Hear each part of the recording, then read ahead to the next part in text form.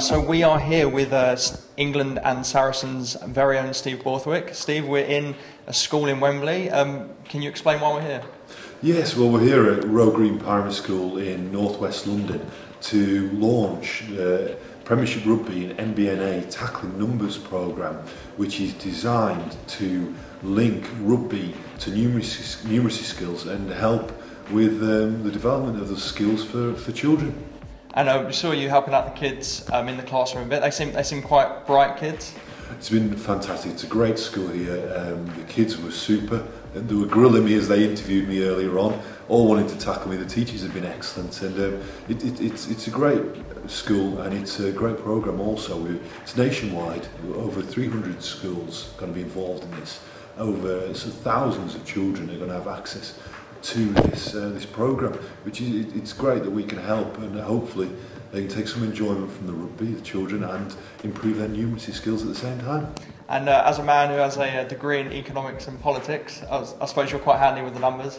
Yeah, it's been. A, I was just been asked. It's been, it's been a little while since I've been inside a school classroom. Um, but yeah, it, it, it's good. I was been tested just in there, and I, and I think I'm going back into the classroom next, up in front of everybody to um, to work out a few equations. So I'll be putting my skills to the test. Fantastic. And also, I saw you out um, playing a bit of tag rugby with the kids. Um, there, there were some quick kids out there.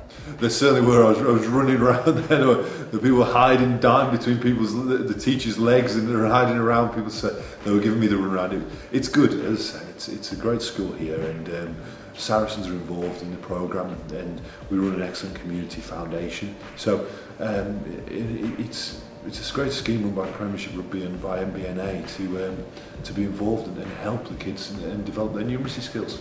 And obviously, uh, Saracens are involved with this, and, and like the Sarries boys, they seem like they like a lot of banter. You're you're a bright bloke. Um, the rest of the squad quite bright.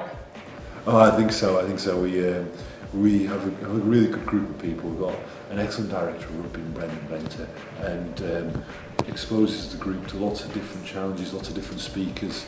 um, lots of different opportunities to get outside of rugby and, and learn. Yesterday, for example, we were at the House of Parliament um, on a visit. Uh, two days before that, we uh, two days ago, we had a, a speaker in the training ground um, to talk about learning capabilities.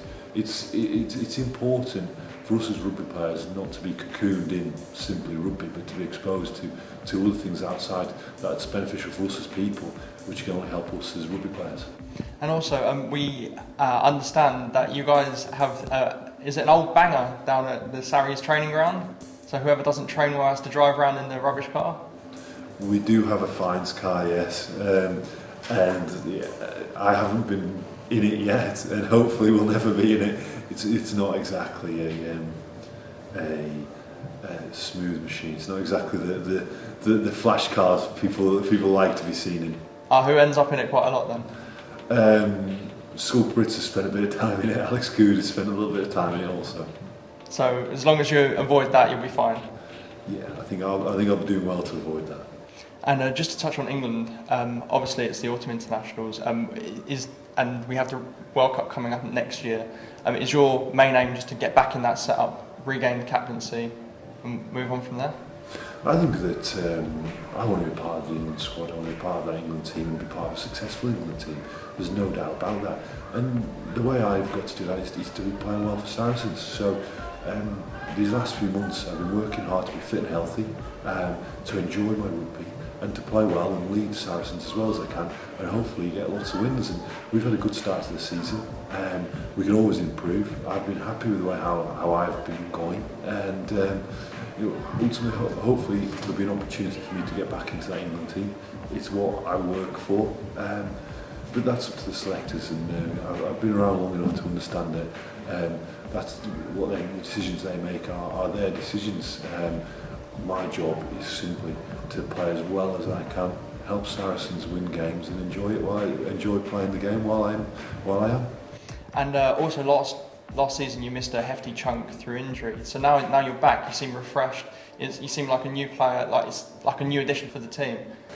It was a frustrating spell last season, um, picking up that injury in the penultimate game of the Six Nations. So I'd been away from Saracens for a few weeks already, um, uh, for most of February and March, and then to have the injury, if I had been away from Saracens for a long time. Um, I'm great credit to those people who've helped me. Um, we've got a great strength and conditioning team and medical team at, at Saracens that have helped me get back to being fit and healthy. And I feel very good now. I feel like um, I'm really enjoying my rugby. I feel like I'm playing very good rugby. And, um, you know, that's that's all I can do really. You know, that's it, it's great to be able to do that and to, to enjoy playing with my team, playing rugby with my teammates there at Saracens, um, who are a great bunch of blokes, and hopefully we can we can make something very special happen. And finally, um, do you think it'd be a good idea to get some of the Sarries boys back in the back in the classroom tackling numbers? Um, I think it would test a few guys. Um, we have got a bright bunch of players. We've got um, lots of them studying at university, but um, it would certainly take a few out of their comfort zone, I think.